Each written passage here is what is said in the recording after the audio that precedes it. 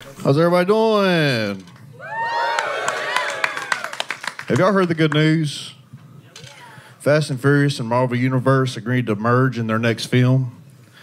Yeah, uh, Vin Diesel will be transitioning to a female role as America Chavez. It's pretty 2023, isn't it?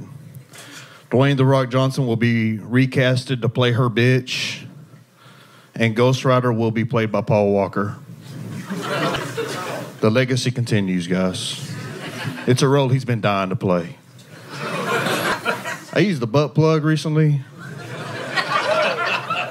It didn't work. I still shit my pants. Yeah, I didn't realize butt plugs are used for sexual pleasure till I stuck one up my ass. Yeah, my eyes are open, especially my brown eye. Guys, I just when you go home tonight, you should all go fuck yourselves. My name is Tony Cruz.